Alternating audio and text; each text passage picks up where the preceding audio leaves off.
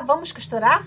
Eu sou a Luciana do canal Costurando com Lupime e hoje eu trouxe para vocês cropped. Eu vou ensinar como você pode colocar forro nesse tipo de peça, de uma forma simples e fácil. Bora lá pro vídeo?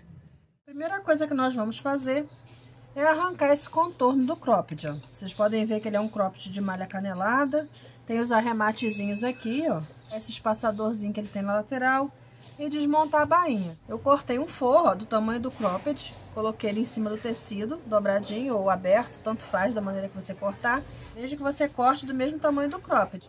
Aqui eu já desmontei todos os arremates em volta e agora eu vou colocar o forro por cima. Você vai colocar o forro por cima e vai recolocar os arremates de novo. Bainha, você só vai redobrar a bainha assim, ó. Aqui é a parte da bainha, você só vai dobrar para prender o forro aqui e vai fazer a costura da bainha de novo. Esse pano que eu tô usando aqui para colocar forro é forro de malha, tá? Porque a malha é canelada, bota forrinho de malha para ele poder acompanhar o movimento. Comecei a recolocar os arremates, ó. Aqui o forro. Eu juntei as duas partes antes de começar a repregar o arremate, eu passei uma costura, ó, bem aqui. Uma costura para prender as duas partes.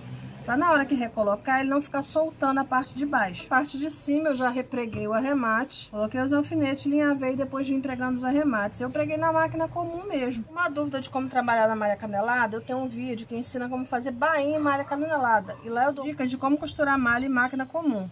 Então aqui eu já alfinetei, ó. Se tiver a colarete, quiser passar no passador de viés, também é uma opção. Mas aqui eu acho que não tem necessidade. Eu vou alinhavar e vou pregar na máquina comum mesmo. Só aqui na lateral, que eu vou, depois que eu terminar de pregar aqui os arremates, eu vou dobrar aqui e vou fazer na colarete, porque eu acho que fica mais bem acabado.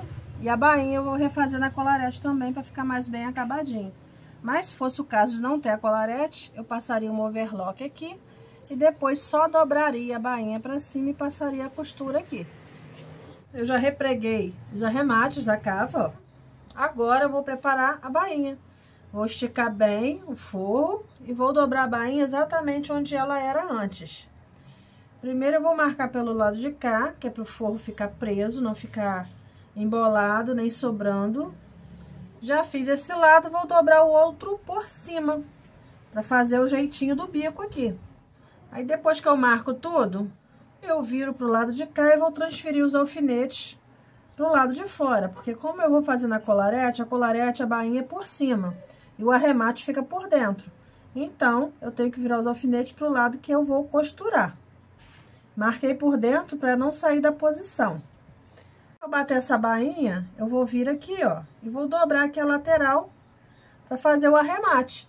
Depois que eu colocar esse arremate, aí eu vou vir com os passadores e vou colocar aqui, novamente. Terminei de colocar o forro, já fiz a bainha aqui na colarete, Fiz a bainha aqui nas laterais na colarete também, lembrando que pode ser feito na máquina comum, tá? Eu fiz na colarete porque eu achei que ficava um acabamento mais bonito. Quem não tem pode fazer na máquina comum mesmo, que também dá super certo. Maneira de fazer é essa mesmo, não tem como fazer sem arrancar os arremates e fazer da maneira que foi feito, senão fica um trabalho grosseiro, mal feito. E não é isso que queremos, né? Queremos um serviço bem feito, que não pareça que tenha sido mexido. Aí a frente, ó, Ficou perfeitinha também, ó, a malha que estica. Sendo forro de malha, forro de malha também estica, então ela acompanha o movimento da blusa. É cruzada, você passa as tirinhas aqui, tá pronto. Esse foi o vídeo de hoje. Se você gosta desse tipo de vídeo, não deixe de se inscrever, deixar seu like para ajudar nosso canal a crescer. Até o próximo vídeo. Tchau!